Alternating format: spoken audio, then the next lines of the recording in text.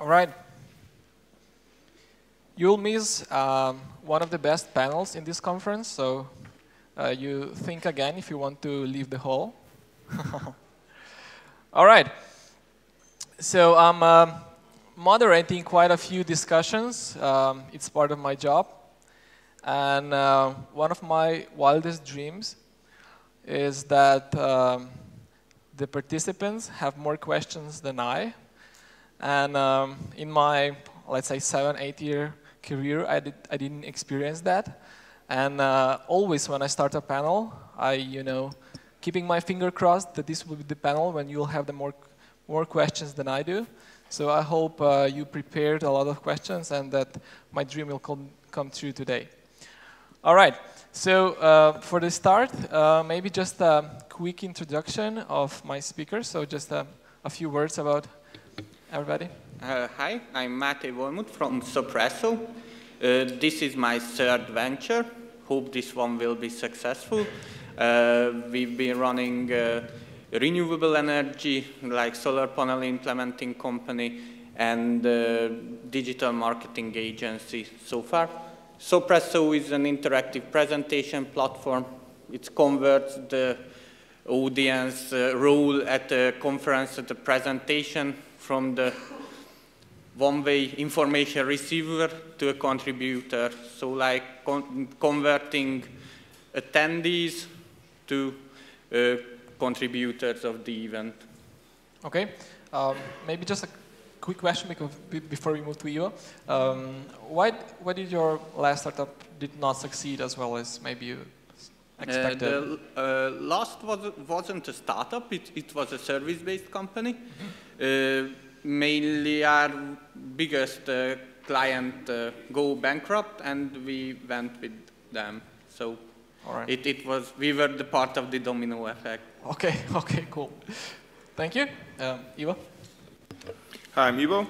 Uh, I wear several hats. Uh, I'm basically, my day job is I'm, I'm an entrepreneur. Um, I have a small software and services company in Zagreb with a couple of friends um, where I'm a board member. Um, I'm also uh, in ZIP, which is up there on the, on the screen. Uh, ZIP is a uh, startup program called an incubator or accelerator in Zagreb, uh, up and running for two years now, and we're just launching our crowd investing campaign to raise 50K, 70K euros tomorrow. So go to our website and uh, anything from 100 uh, great GB pounds to up to you know whatever you want to invest into the best Croatian teams. So that's a shameless plug. And I'm also, uh, aside from all that, uh, last year with a couple of friends, uh, the most well-known of which is Robin Wauters, uh, started a new um, European online technology publication called tech.eu, uh, which is now trying to cover um, the most interesting technology stories throughout Europe, um, including obviously the Southeast European region. So I've been talking to, um, to entrepreneurs that I know here from the Slovenian uh, ecosystem, but any of you that feel you have an interesting story or that you'd like to highlight or comment on something that's happening in Slovenia or in any of your ecosystems and, and environments, please feel free to walk up during lunch, because after lunch I'm gone, but you can always find me online as well. Cool. Thank you. Igor. Hi, my name is Igor, and I'm here today to actually uh, share our experience how uh, one flop, building one product can, uh, can get you to another product that has a potential for success. And we are, what we are actually doing right now is uh, Google for Business Contacts, and it's taking off. So that's our short story. Cool. Okay, we know Rob, um, so uh, we'll skip your uh, introduction because um, uh, we already know pretty much everything about you, but um, I'll, I'll, ask you a, a, few questions later. But uh, because the, the, the, theme of this conference is uh, roller coaster, so ups and downs, uh, maybe I'll start with you, Igor, and your interesting story. So tell us about your this uh, you, you, call it flop, right? Yeah. Uh, and how this flop, what was it, and um, how did um, lead you to this uh, Google Analytics for Business Contacts, right? Yeah. Yeah. So please. Actually, we were doing uh, two years ago. We started doing uh, cloud software for optimi optimizing uh, businesses in hotels, and where we actually failed, we did not understand the market correctly. We tried to sell them uh, through the internet, and this is just not the right channel where people from hospitality industry actually buy. And the reason that it took us uh, two years to actually, uh, to actually fail, we didn't spend enough time with our customers. So trying to reach customers around the world, we, try, uh, we started to build uh, uh, another pro product actually for ourselves to actually kind of automate getting leads, you know, because we were doing it manually on Google, and if I was motivated, I could get like 10 leads per hour. Then I hired some students, and in the end, I hired some Pakistanis and Indians on freelancer.com, and that was a disaster. So we built our own product to actually, you know, kind of a smart search engine to actually get the, a lot of leads in a very short time. And then I had a kind of a presentation in te Technology Park in Ljubljana, and uh, some other companies uh, came to us and said, okay, we want to use this tool. So, okay, then I started to think, uh, maybe we have a potential here, so we build the first product, and a second version of the product. Actually, now we're building the fourth product, and we are uh, expanding to Switzerland. Okay. But why, why, why didn't you, you are I, I pretty much know you, and you know, I, am now I know that you are familiar with all this um, customer discovery, validation, and all these processes.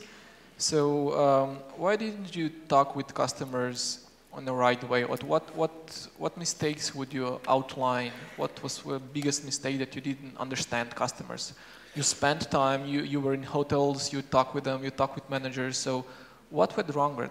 What went wrong? Um, well, the biggest mistake was we didn't spend enough time. Because... Uh, How much time did you spend? I spent about, let's say, 50% of my time. That was not enough. Uh, we had a talk with Blaž Kos, because we were in Geek House, and uh, eh, he told me, if you don't spend at least 90% of your time with your customers, you're not spending enough time. So this was uh, one of the most important uh, lessons, lessons learned. And the second le lesson learned is how deep is your market how many failures, how many actually, how many mistakes can you make? Because uh, in hospitality business, you don't have thousands of uh, thousands of hotels uh, in your vicinity to actually, you know, make a low-cost customer discovery. So when you're actually failing and doing mistakes, if you have like 50 hotels that, that, you're ready to, to sell, and you make a mistake with 30 of them, you lost a, a big part of your market. So what we have right now, only in Slovenia, we have like uh, 200,000 potential customers. If I screw up 1,000 of them, I didn't do a lot of, uh, a lot of damage. You know, so these are the, the two most important uh, lessons learned. Cool. Um, Rob, how would you comment this? Um, is this like a common mistake? Um, you know, you have a limited number of customers uh, you, you cannot screw up with. And how do you approach this problem if you have like a business to business? Um, and yeah, what, what, what, it, what, would be your advice?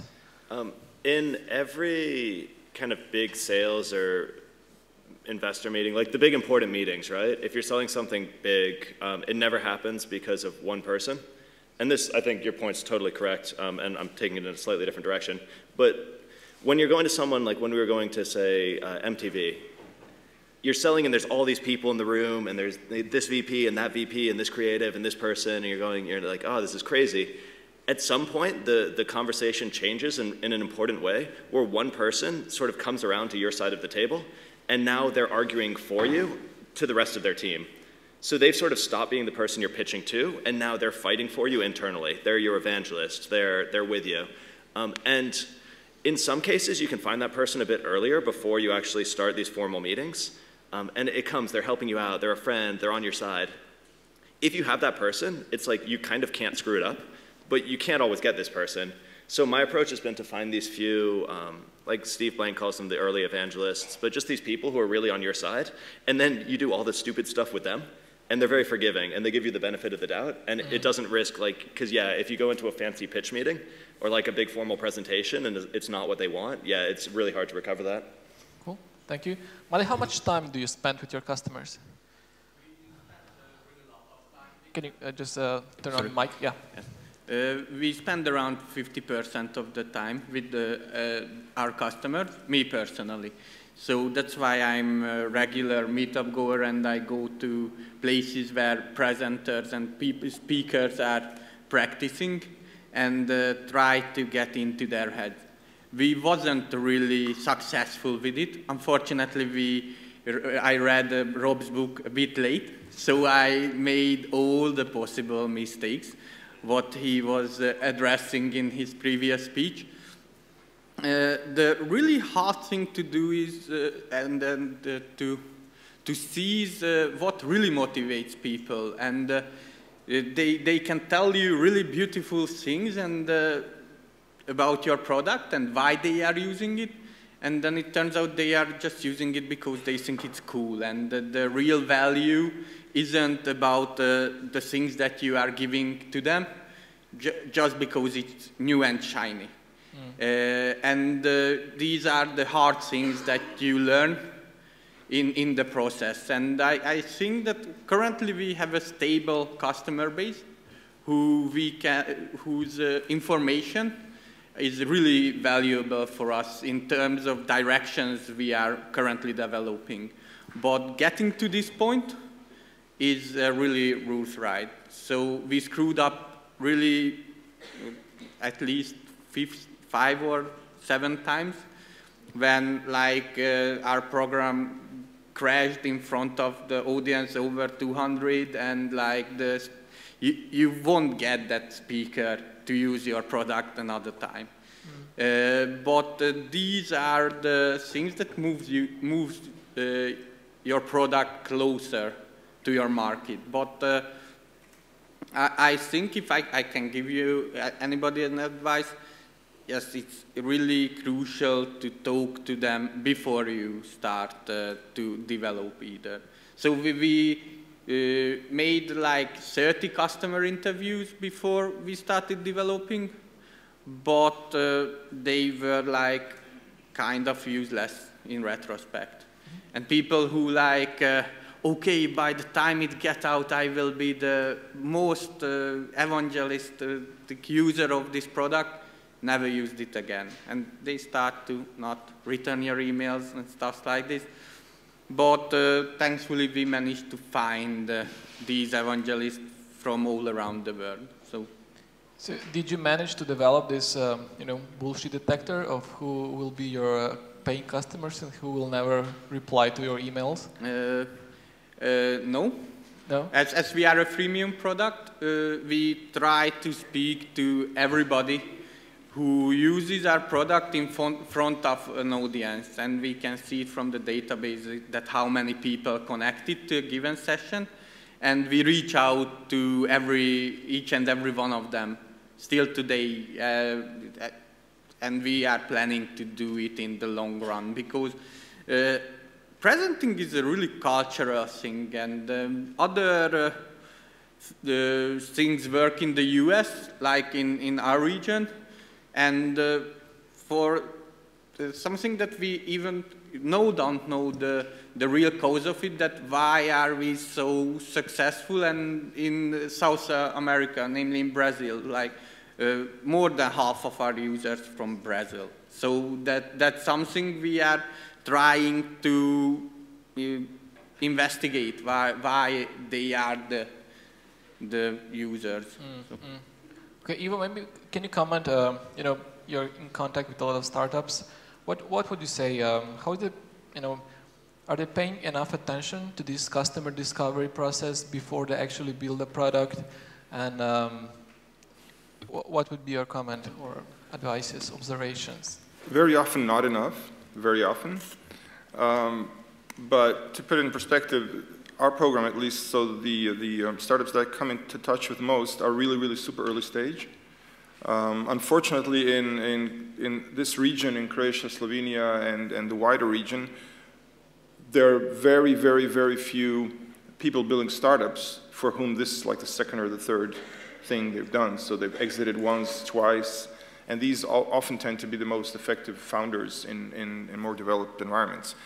Um, so what we see are, you know, very basic, very typical mistakes of people, you know, they're engineers, they're programmers, you know, we've heard this a thousand times, and we try to help them overcome that as, as fast and soon as, as we can. Um, one story that I love is one of our uh, founders, uh, so this is a young lady building a, a cloud-based app for nutritionists. So their, her first customer base is in the US. Um, the reason I like this project is that many of the startups we see uh, base their ideas on what they see around them. So especially in pitches, competitions, we see a lot of tourist-based startups, a lot of uh, restaurant ordering apps, uh, whatever, things people you know, see around them as problems. Now, um, uh, Mirna, who's building this uh, GreenPie app, um, started somehow finding, okay, she went through a very intensive online uh, startup uh, education program before she even started doing anything.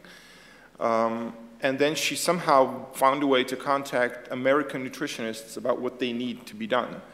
Um, and she had like five or 10 of them sign up as kind of, you know, beta customers before she ever started writing, or before she hired or worked, started working with a programmer, because she's not a programmer, to start writing any code. Um, and she's doing fairly well now. She's one of the first, first and so far only team from our program that got a follow-on investment.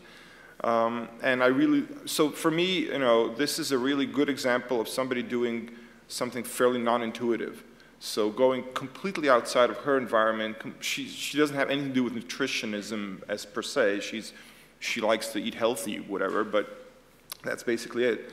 Um, so, you know, we always encourage startup founders to, to try and think about customers, not necessarily just the ones that are in their neighborhood, in their vicinity.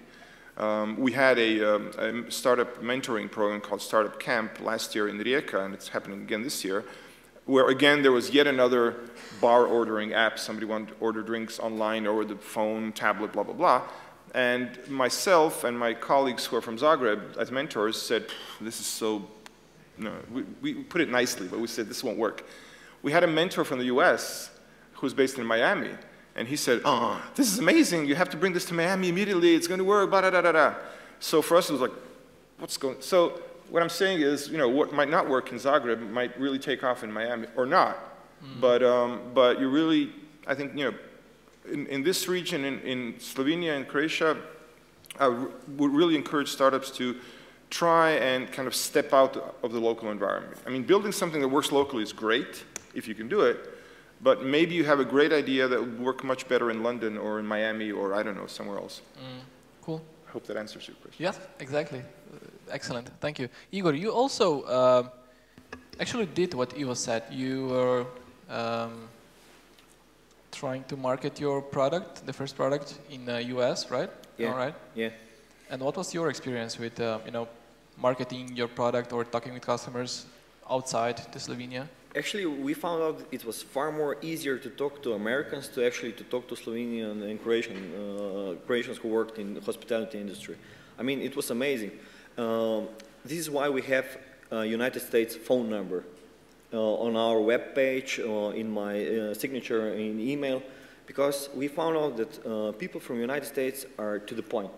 If you, if, uh, you have a motive to actually make a contact, and the motive is talking business, you're talking business in three seconds.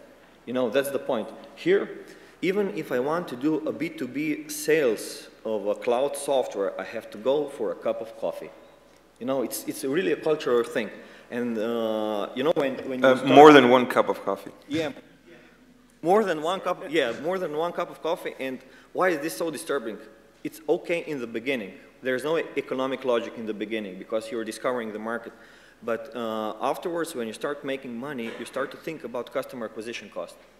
And all these coffees take me a lot of, a lot of my time. Instead of writing emails, personalized emails to my potential customers, uh, I'm going for a cup of coffee because people want to meet me, and when they meet me, they say, uh-huh, now I know who you are, now I will buy it.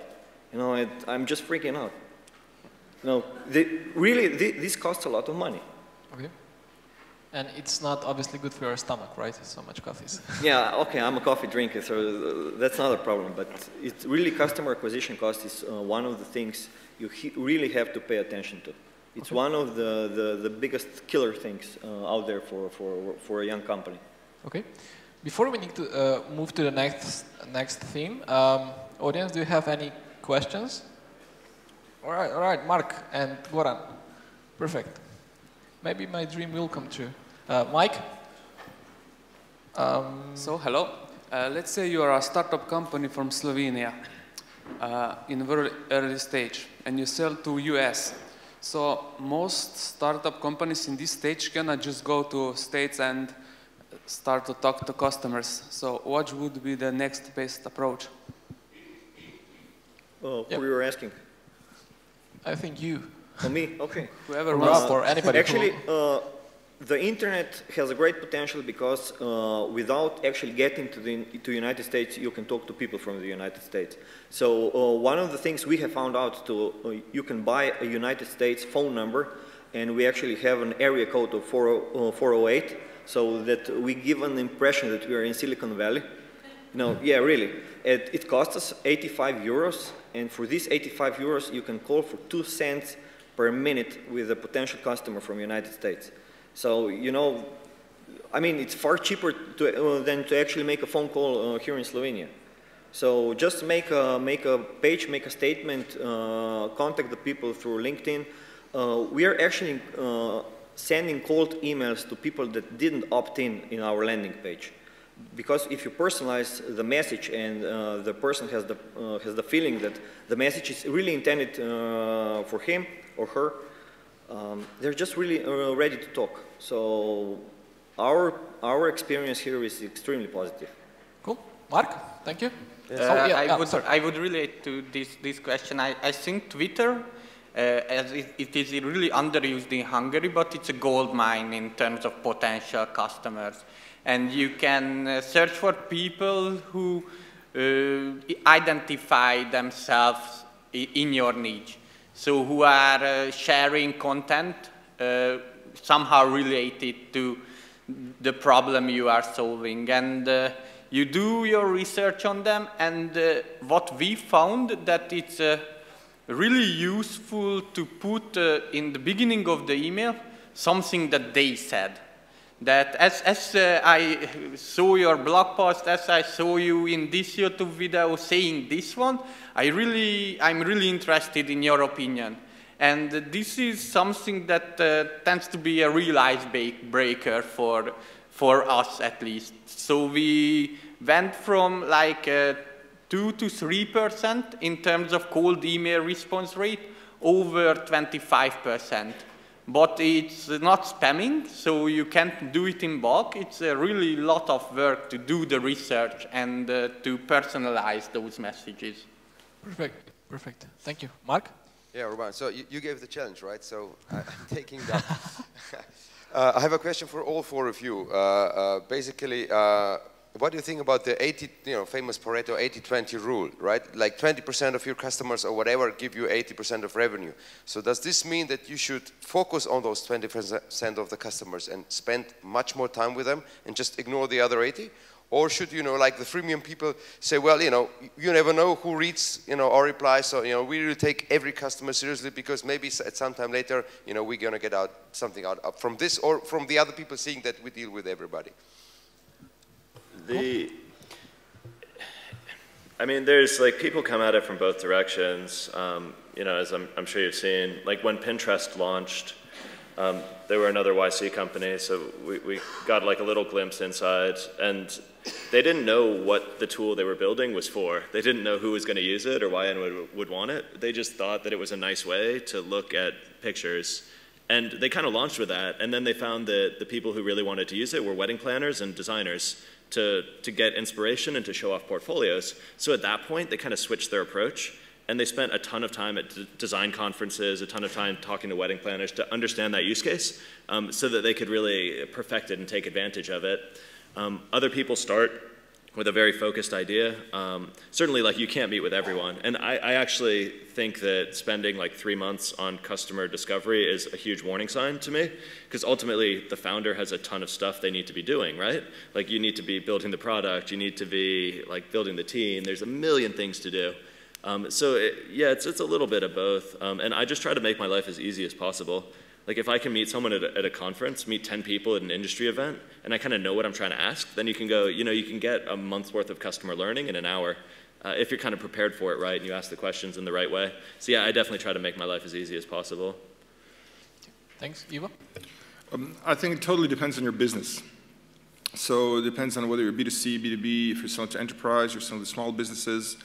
Um, as an example, I, I once had a, a talk with um, the guys that started SoundCloud and asked them, you know, what's their international expansion strategy and which countries are they looking at next? And they said, we don't have any custom uh, country expansion strategy. We just go globally. I mean, from their perspective, the whole world is just a single unit. Uh, if you talk to other startups and founders, you know, they think very, very, they do a lot of thinking about their next, their next market. Um, another example, uh, Branko Milutinovic, who is running Nordeus, which is one of the, you know, hottest gaming, sports gaming startups based out of Belgrade. Um, when I talked to him about the same topic, he said, well, we're going to Japan next. So I asked him, well, what do you need, what are you doing to prepare for that? He said, well, we have to get inside the Japanese gamers' minds. So, um, um, but back to your question, 80-20, um, I'd say just roughly from my experience, if you're doing large-scale enterprise B2B, then yeah, you should be probably really focusing on those customers that are bringing the most revenue and the most value and the most potential. Um, if you're doing, you know, like, like Nordeus is doing mass scale gaming where they have, I don't know, 10 million monthly active users or daily, I don't really know what, there's no, I mean, it's a totally different marketing approach, totally different sales approach. So depends, what's your, what's your, are you asking about your project? Is there a project you have that you want to think about?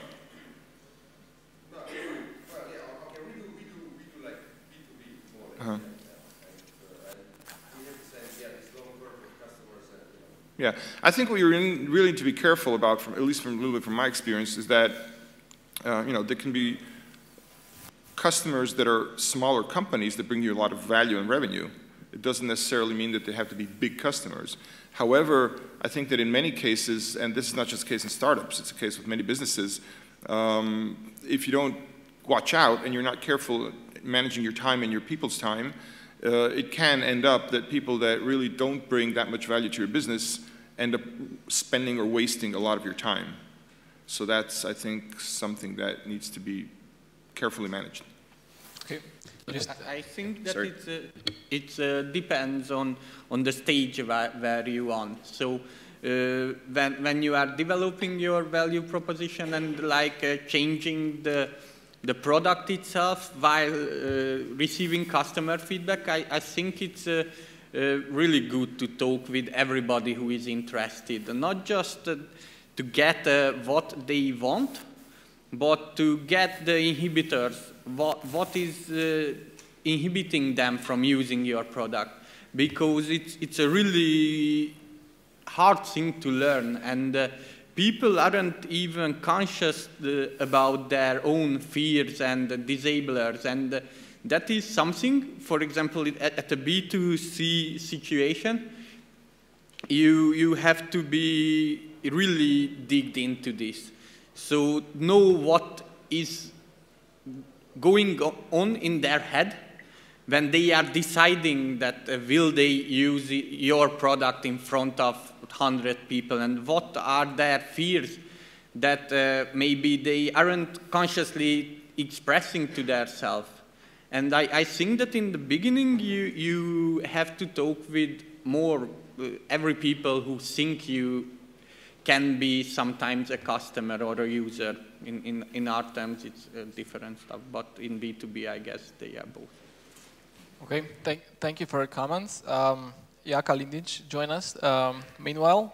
Uh, so uh, welcome to the panel. Um, maybe just for the audience, uh, a quick introduction of um, who you are and what are you doing so that everybody will know and be on, on the same yeah, page. Yeah.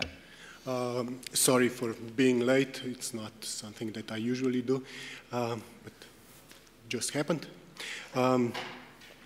Basically, I'm a professor at, uh, of entrepreneurship at uh, Faculty of Economics. Uh, I was a visiting scholar at Berkeley University. I'm a serial entrepreneur. Uh, just um, spent three months in the Bay Area. Um, entered the market with one product and returned with a completely different one. So, um, yeah, that's something we call pivoting. And that's All right, today's subject. Exactly. That, that was my next question. We are moving from um, customer discovery to the um, pivoting um, part of the discussion.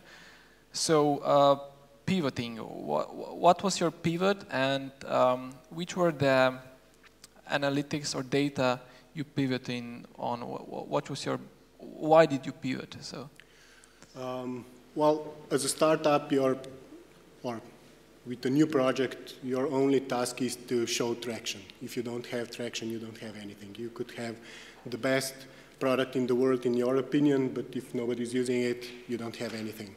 Um, basically what I learned is I talked this, I discussed this with Steve Blank and his comment was you need 100 interviews, you need 100 people that you really in depth um, discuss this topic, your product, your service that you have. Uh, when I checked my contact list and how many contacts I uh, made and how many interviews, and I discovered that uh, I had a little bit more than 90. And in the meantime, I discovered that the product that we have, that is, by the way, successful in Slovenia, uh, is pretty much useless for the States. And that was our agenda. We wanted to enter that market. And don't get me wrong, we did market analysis here, but it's something uh, completely different if you talk with your customers or potential customers. We entered with um, educational tablet. We wanted all the kids in Slovenia to use our uh, special, specialized, specially developed Android tablet just for educational market. Uh, one thing that we learned is that it is a nice to have product, uh, but not a must have product. And you, the the answer that you don't want to hear from your clients or potential clients is, I totally love your idea, I love the product, uh, just I don't have the time now. That means that you will go through the sales cycle again and again and again. If they don't feel the pain, if they don't understand the pain, then you don't have, you actually don't have the product. Okay. What, what were the differences? You said that, uh, that your product is successful in Slovenia. Uh, why isn't successful in uh, States? What were the differences? What mistakes did you make? What, what wrong presumptions were you? Uh, well, using tablets in education is something that is a virgin market. Nobody actually knows how to do it. You have Apple that sold it to the biggest um, school district in California. It was $1 billion uh, worth of business and students hacked the system in a week. So Houston, we have a problem. Um, well, they have a problem. I'm happy that we, we, were not in that position. It's nice to have a $1 billion business, but not if you cannot deliver. Um, but basically, what, one thing that we learned is that 40% uh, of families in California don't speak English at home. So is using tablets really the most important thing that you could do. So one thing that we discovered in the States, especially in California, was a huge achievement gap between the white and non-white population. And we had quite a substantial portfolio of products and services here in Slovenia, and we decided that we should just adapt one of these systems and not push uh, the tablets business as such because it would be a hard sell and one thing that we learned is that it, we wouldn't provide as much value as we would hope to. Mm -hmm. Okay, thank you. Um, Rob, uh, what is your um, experience? Um, how long a startup should, how much time should a startup take um, um, to, to, to, test the product and then to pivot? Is there a certain period of time or um, is this only dependent on the data and feedback from the customer's potential? No, and even that, it's really hard to process the data. You're looking at this, you're like, well, we're not growing, but is that because we didn't execute well enough, or is that because no one wants the prob, like it isn't a real problem? Um, or is it, am I bad at sales meetings, or do they not want to buy it? There's all these, like, it's really hard to make sense of the data. Um, so for me, I really use advisory boards a lot um, ideally people who have been in my industry or built this type of business model before. And if you reach these points and I just, you, you put the numbers down and you're like, this is what's happening. Like, what would you do if you were in my shoes? Because um, they've seen it before, whereas we're kind of always going through it for the first time. So I, I, just, yeah, I trust my advisors, my mentors, um, and I, I, try to run all of these things by them. And if all of your advisors are like, yeah, you're about to go out of business, I sort of, I'm like, really? Are, are you sure? And they go, yeah, definitely. And I'm, oh, okay. And then we change what we're doing. Okay. So you don't, you don't have these complex dashboards of all the stuff of analytics and it's, it's numbers and everything? It's a tempting idea. I mean, I'm pretty relaxed about all this stuff. And I, I see people and they're like, we have to have a, a hypothesis. And if we don't get 5% of this, then we're going to give up and we failed it. But really, what do they do if they get 4.9%? Like, do, do, they hold themselves true to that arbitrary line they drew? Um, so yeah, for me, I, I, just trust people who have been there before and, and try to see what feels right, you know, because so much of it is like, you're happy to ignore the data if it feels right. Um, cool. What's, what's the, uh, um, relationship to these data-driven decisions uh, for the rest of the panel?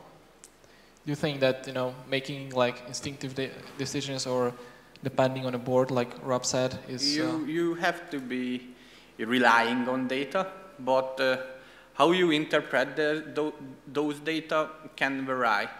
But I, I think that you can spot problems from your data. We don't have these, these type of 5% or, or if this isn't that uh, big, then it's wrong.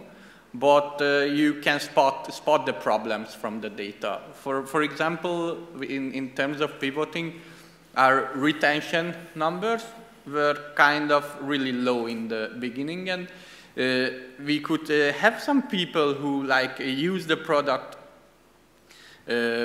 like weekly, but others just used it like in one time in a month or tried it and didn't use it another time. And uh, you, you see this data and you start to investigate what are the causes behind it. And uh, it turned out that the people who completely control their presentation environment are the one who retain, who, who use, use us weekly when they have the whole control of their, their environment. On the other hand, the people who didn't have the, the whole control of their environment, so they are going to other uh, people's workshop to present or, or big events to present, they didn't feel confident that they want uh, to like in incorporate Sopresso in the making of their presentation. Because uh, if you make your presentation with the interactivity in mind uh, and you can't use a tool like this, it's like if you have to make two versions or prepare two versions of the, the same, for the same time. And uh, this is a, a fear that we had it was really hard to extract from people because it's not something that they consciously know that uh, this is something that they it's preventing them for a repeat usage and that's why we are currently redesigning the user flow so like most of the the backend code stays, but, but the front end and how the user can start a session and what are the needs for that changes based on, on, on these feedbacks we've got from people who are paying us and using uh, mm. us uh, not, not so frequently. Okay. So, so you have to be uh, conscious about your uh, metrics, but uh, you don't have like uh, an average uh, retention in the presentation industry. It's something you will never know, and it's something that changes from company to company. Okay. Ivan, um, yeah, Igor. You know, it's not a rocket science. Every, everything has to come naturally. Uh, you have first customers, and they're, they're, then they start uh, stop being your customers. You have a problem, you start tackling that problem. You know, um, and then you start looking at the data you, you can't just look at the data and uh, because you really can't understand the data in the beginning. You know, it really has to come naturally. You're having a problem, you start uh, dealing with it. Otherwise, uh, there are too many problems to actually uh, deal with. And you, in the end, you're dealing with uh, the least important problem instead of uh, seeing the, the, the, most important one. And in the beginning, the most important one is only, only one, traction, traction, traction. And this is, again, why you have to go back to your customers and actually spend 100, 150, 1,000% of your time with your customers. You know, because uh, after you talk with hundreds of people, you start uh, seeing like a flashing points of, of one or two problems. They're just popping out. You know, uh, we, we, lost some customers. We, we came back to them. Some of them yelled uh, at us.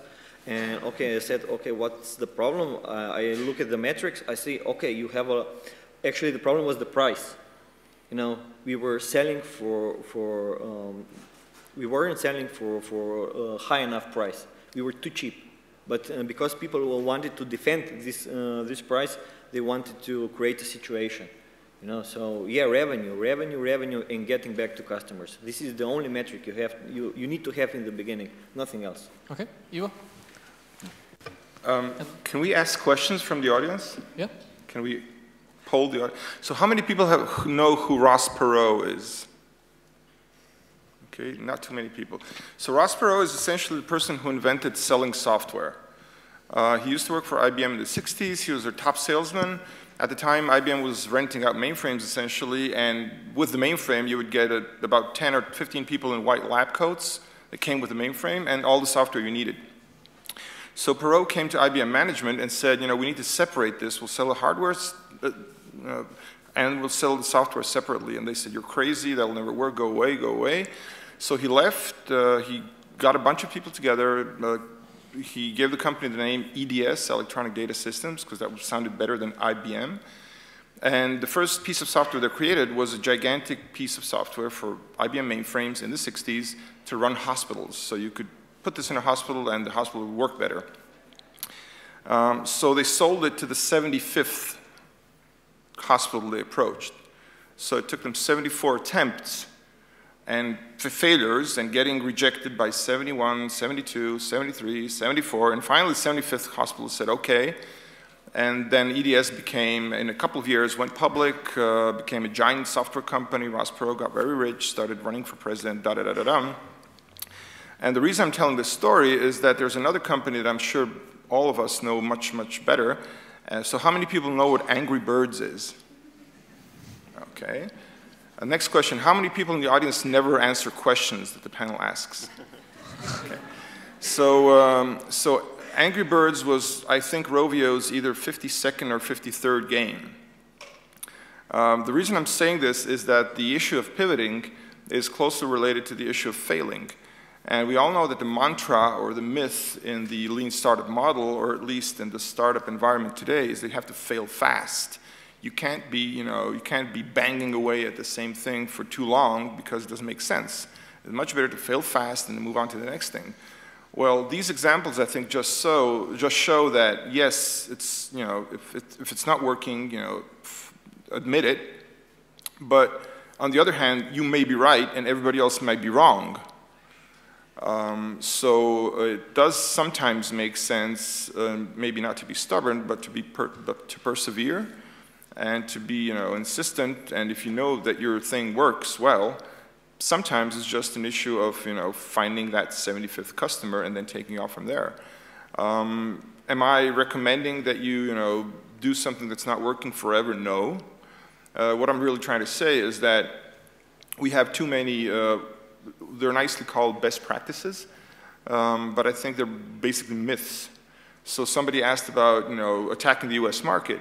For some companies, that's a great approach. For some companies, attacking the French or the German or the UK or the Russian or the Turkish or the Chinese market might be better.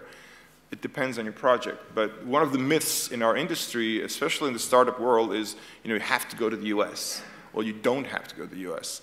Uh, great companies have been built in Europe, they've stayed in Europe, and you know, they do business with the US and with many other places. I mentioned SoundCloud, I could mention Nordeus or uh, Mendeley as a company, and many others. So don't, you know, be really careful when you hear wise words from us panelists and, you know, take it all with a kilo of salt and, you know, your business is your business and, you know, you know, be smart about it, be real, get traction and, you know, fail fast. Okay, thank you. That was an excellent comment. Yeah, Jakob? Uh, can I give another um, comment? So you asked how long should you take before you pivot?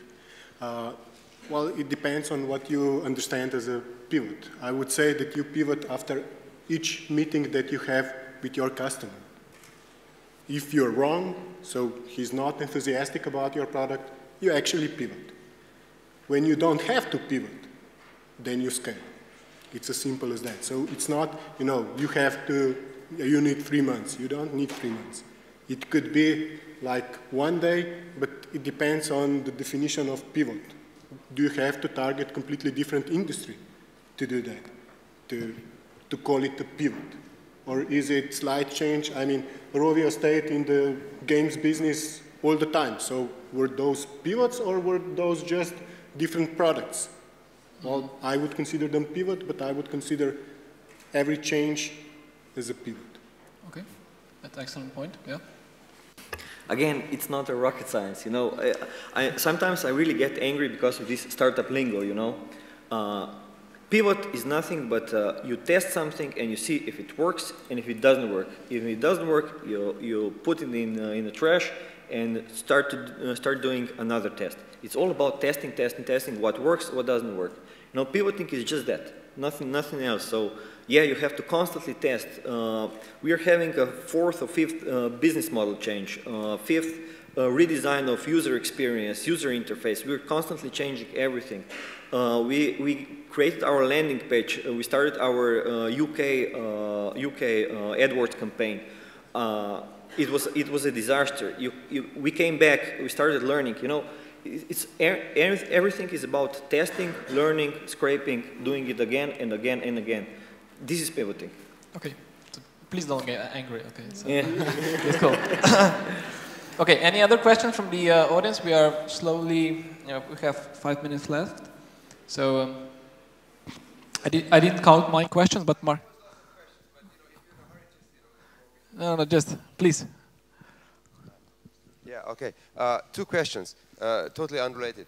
Uh, pivoting is it like an evolutionary process? like, you know, evolutionary process. As you said, right, Igor? I mean, you know, like evolution works in nature. You, you create a lot of, you know, little different uh, copies and then the one which works best goes in the next round, or is it revolutionary? One question. And second question to Rob is, you know, how do you get your advisors? How do you attract them? Is it like, you know, the fun? Is it, is it your personality? Is it money? And, and money is, of course, important. So, you know, how do you decide how much money you offer to those guys, you know, so that you don't insult them with too little and you don't pay too much? Thanks. I, I, can answer the second one pretty quickly. I think the, the first question's harder, and you guys can uh, you, you, guys can work on that. So for advisors, like industry standard, with the understanding that everything changes, it's like if you haven't yet raised funding, it's usually an equity relationship, uh, at least for me, because I want them adding ongoing help for a couple years. So I usually do one to two percent if I haven't raised funding yet on a two-year vesting with no cliff, which means they just get their one to two percent spread out over two years. Um, if you've already raised funding, it's more like half a percent, maybe 1% if they're really good. Um, and the big pushback I get, like in most cases, I've been really surprised how amazing the people are who are willing to join my advisory board. They're like super senior in the industry, they're, they're great. And I'm like, wow, I can't believe it. But actually, it's quite a flattering offer to be, for a startup who's doing something that you're excited about. They're like, hey, I want you to take a piece of my company. Um, and where advisors get nervous and where, where I see people saying no is if they're worried that it's going to take too much of their time. So I'm always really clear what I want. And so I'll say, and I usually ask them for two hours a month. I say once a month I want to meet you for coffee. Um, and one hour a month, I'm sort of expecting that maybe you can look at emails for me or, or, make a connection, make an introduction. So to me, I just try to be really clear about, about that. And, and yeah, the, with my first company, they came through my investors. Like we went through an accelerator and the accelerator put us in touch with potential advisors. Um, and then later on now, a lot of them come out of my sales meetings, and I say a lot. I've, you know, it's not like I've had a million companies, but like a couple have come out of sales meetings, and a couple have just come out of people that I know in the community who I respect as entrepreneurs. Um, and I'm like, oh, like you're a great entrepreneur. Can you be like the voice of sanity to to keep me from running into a wall? Cool. And um, first question, Igor. It should always be evolutionary process because revolution, you know, uh, there is a saying, revolutions always eat their own uh, children. If, if there is a revolution, there is th uh, something fundamentally wrong or you're uh, changing something fundamentally. Because, you know, we started doing uh, cloud software for optimi optimizing uh, business in hotels. And we came to the Google for business contexts. it's totally different market. everything is different. But the way we, we, we approach this and the way we're realizing it right now is it's totally evolutionary. Because ev evolution is a learning process. It's, it's again testing what works, what doesn't, and, and you, it's really evolu evolutionary process. I really don't see it as a, as a, as a, as a revolution it, because when you have a revolution, there, you really have to know why do you why do you need a revolution, and it's really um, um, um strong uh, strong word, and um, it's kind of a um, nasilno. Violent. Yeah, it's really yeah, it's really violent, uh, violent, uh, violent event. So a quick, quick For comments? me, Yeah. for me, pivoting is when you change your customer. And until that, it's just another iteration when you want to serve that same customer. So in, in your case, the pivot was when you went from the hotel hospitality industry for the uh, people who need the business contact. But for us, we're staying in for the developing for the same uh, customer is just another iteration when new new stuff comes up. Okay, Jaka, last comment. Um, I actually agree with you, and I would say that it should be evolutionary. But when you look back and see the change between pivot, pilot number one and the last version, you should see a revolution, or you probably will. But if you start with the revolution way of thinking, you're actually starting a new business rather than pivoting. Perfect. That was a great comment for the closing of this uh, round table. Uh, thank you all for uh, joining me uh, up here. Uh, thank you all for your question. One big applause for my audience.